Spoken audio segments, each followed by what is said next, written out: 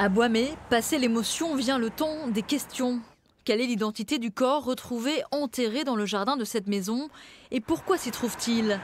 Pour tenter d'y répondre, un flot ininterrompu d'enquêteurs a investi la petite commune de 1200 habitants. Dimanche, euh, nous avons vu des, camions de gendarmerie donc euh, sans, plus d'inquiétude. Et euh, hier, après, on a, on a été énormément choqués de, de, ce qui s'est passé dans, notre petite commune. Dépêchés de Marennes et La Rochelle, les plongeurs des brigades nautiques sondent le petit étang de la propriété à la recherche d'indices. Une perquisition est menée dans la maison.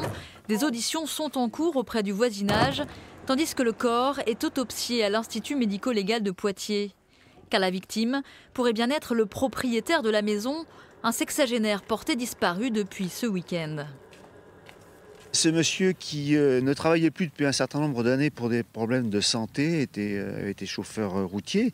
C'est une personne tout à fait introduite dans notre société, euh, dans notre village. Euh, pas, forcément euh, très, très actif dans, dans, dans, aucune association, mais qui ne posait aucun problème dans la vie sociale de notre, de notre village.